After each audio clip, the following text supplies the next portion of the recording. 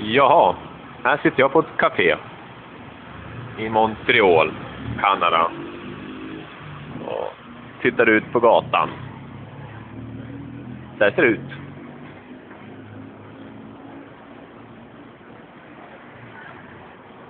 En helt vanlig gata i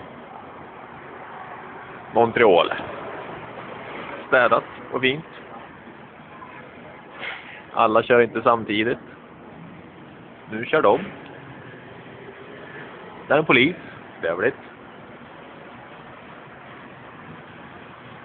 Ska säkert på något knarktillslag eller någonting. Där är en polismotorcykel. Vi zoomar in.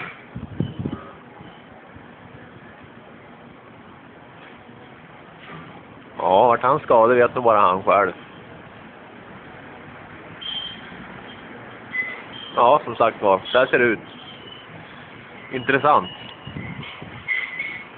Nej, knappast.